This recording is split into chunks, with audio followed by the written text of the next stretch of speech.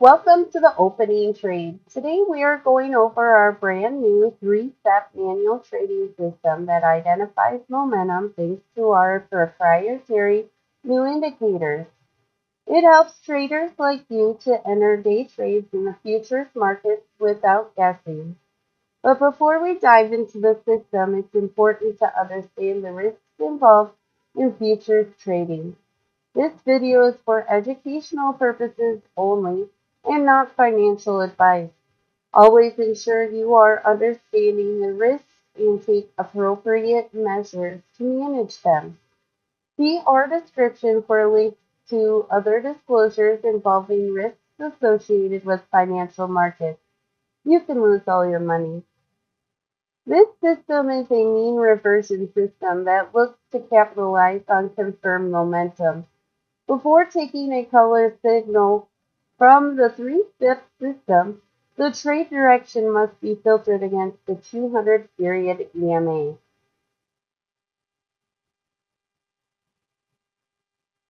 To use this system, first set the chart data series to a 3-minute candle. You would do that here at the top. Or if it's already set that, if yours is not, you're going to click on it and put it on a 3-minute. We choose to trade after the New York session has started this allows for adequate volume. Trend filtering with a moving average is our chosen approach. When price is extended far below the 200 period EMA in relation to recent price action, signals are filtered to only accept long or green signals. If the price is extended far above the 200 period EMA in relation to the recent price action, signals are filtered to only accept short or red signals. So here we see a lot of red signals currently. Up here with some green ones, but this is a lot of red. Once trend filtering has been consulted, the user can continue to consult the three signals together for confluence amongst the independent steps, meaning all steps given the same color signal at the same time. It is important to note that entering in the middle of a trend is not recommended and you should wait for a fresh signal. Where you are present for the move away from the 200 period EMA and then witness the color change signaling the reversion back to the mean or again in this case we target the 200 period EMA. Step 1. This trading system follows three steps, starting with an exponential, exponential moving average of the price action. We refer to this as step 1. So we're looking for red and green candles after they have closed. So once this candle closed, I already I am going to see if it turns red or green. So the next step is to the next step is a moving average plotted on the top of the RSI. This is referred to as step two. So we're looking here in this box to see if it's red and green. And we want step one and step two to be the same color. And if this closes in green, I see down here step two is green, then I'm going to hit the bar, buy market here. The last step is a moving average on the CMF. This is referred to as step 3, and all three steps are color-coded to always show either red or green, where green is a move to the upside and red is a move to the downside. All right, so that candle closed in green, and my step 2 is green. I'm going to move this just below the the lowest swing there and bring my green down to the 200 point, the 200 period EMA. So now I can uh, relax for a second because the next thing I'm looking at is to see this hit $200. And again, that is my own personal choice. I'm going to wait until that hits $200. Once it hits $200, I am going to move my red line up. So once I see the indicator of this, once this box hits $200, then I'm going to um, grab this red line and I'm going to move it up.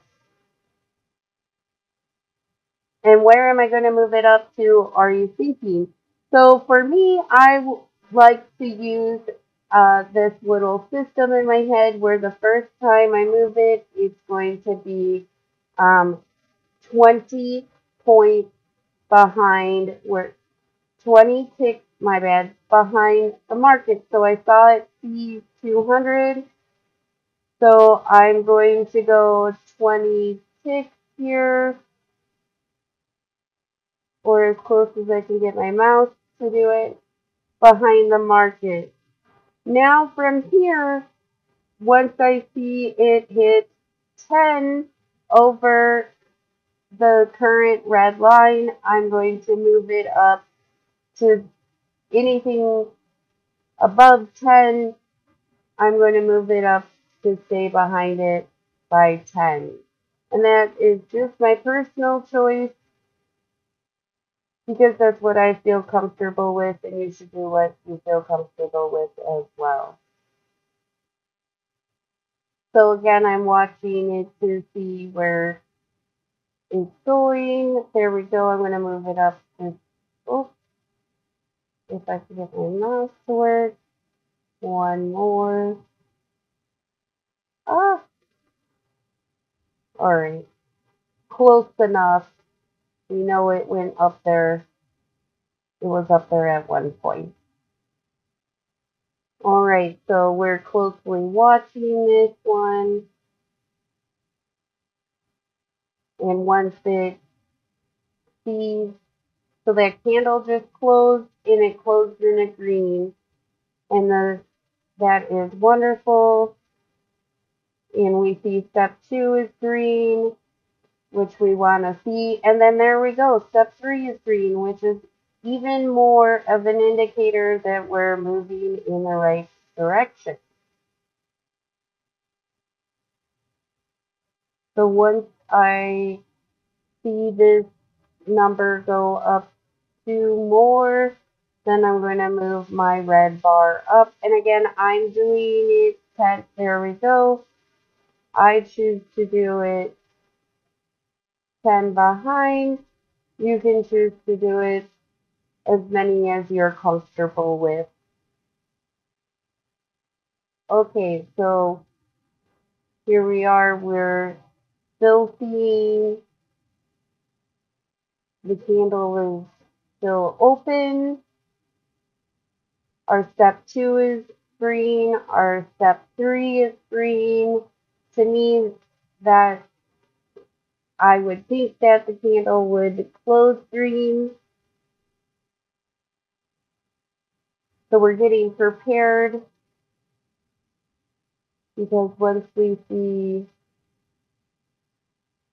oh, if it comes down and hits the red line, that's totally fine. We're still in profit. So it is getting close. So we're waiting to see which way it is going to go. We see that step two is green and that step three is green. And there we go. We're getting in there. It moved up. So I'm going to move mine up. Hopefully. Relatively 10 points. 10 ticks. I'm sorry. 10 ticks behind.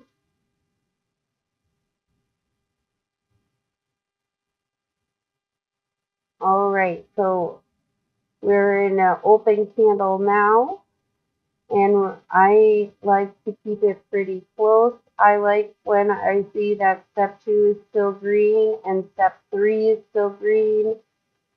So I'm watching the open candle here, it looks like it's going to move up, so I'm getting ready to move my red. There we go. And move my red bar up as well. And I'm trying to stay pretty close to where the market is. That's my personal um, choice. That's what I feel comfortable doing. So I'm going to move it up again.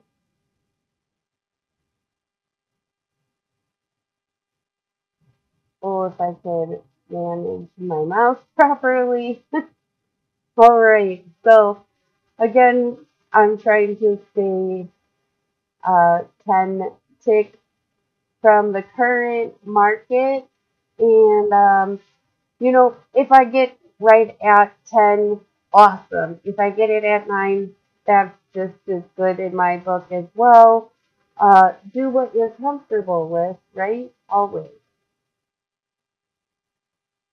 So I like that I'm checking down here. Step two is green. Step three is green. So I'm watching that. I'm watching the open tick. It looks like it's going to hopefully go up to that uh, green bar. That's where I would like it to go. Closer to the 200 period EMA is what I'm aiming for while trailing my um, red bar just 10 ticks from the current market. And that's my personal choice. Do what is comfortable for you. So here it's, it's bouncing around. It's going up, it's going down, it's going up, it's going down. I keep getting excited, like, oh, I get to move my red bar, but then it goes back down. All right, so I'm checking step two is green. Step three is green. We're getting close. Again, it is wiggling around there. So uh, it's actually quite fun for me to watch this. All right. and it's doing it again. So don't forget, always understand the risks involved and take appropriate measures to manage them. Okay, so there we go. Getting close. Getting my mouse ready. Step two and three are green. I'm waiting for that. Uh, oh, it's it's just dancing around there. All right, so you know it does that sometimes. Okay, so that candle closed green. Oh, and there we go. There was the move we wanted. And I'm going to move, follow it up. Oh, if I was clicking the right thing, I'd be following it up.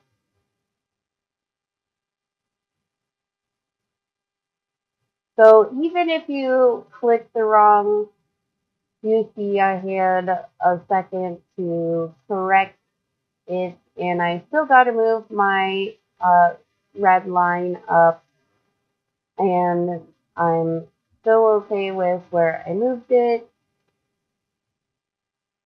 Make sure you know what your buttons are doing on your mouse. That's always helpful. All right, so we're getting really close to our green bar here. You see our green and our red bar are pretty close together. So there's not much room left here. And once it goes up and hits the green, which the indicator is looking like it will, So step two is green, step three is green. Our last four bars were, our last four candles were green. And we're currently in an open candle here. So once the candle moves up enough for my liking, I will move up my uh, red line as well. And the red line is your stop loss. So if it comes down and hits that, it will close the trade. And again, I kept Stop mine, filled. which is what just happened. So it came down, it closed the trade. Um, it was a winner, which is great. I kept mine close. Um, and I'm totally happy with that. And that's it. By following these steps, you can use this trading system to identify momentum and enter day trades in the futures market. Just remember, always understand the risks involved and take appropriate measures to manage them. Thank you for watching.